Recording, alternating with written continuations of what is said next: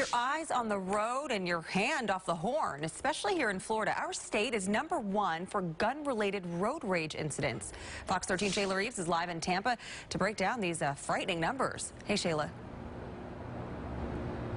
Yeah, good morning to you, Jen. More and more people are turning to guns to solve disagreements on the roadway. It's happening all around the country. The numbers are stacking up, and right now Florida tops the list.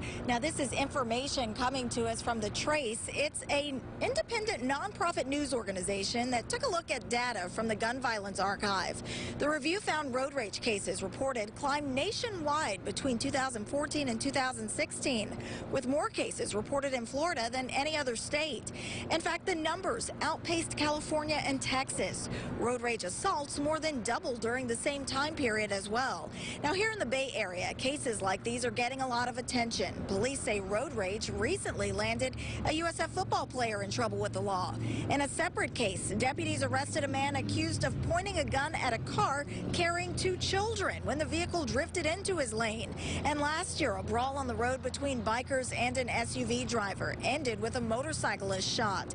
Now, law enforcement agencies around the state are taking steps to make sure Florida roadways are safe for everyone. Safety campaigns and ticketing blitzes are some of the tools used by law enforcement to target aggressive driving before aggressive, aggressive driving leads to violence. Right now, 1.7 million people in Florida have a valid license to carry a firearm or a concealed weapon. That number is up from 1.3 million back in 2015. Reporting here in downtown Tampa, Shayla Reeves, Fox 13 News.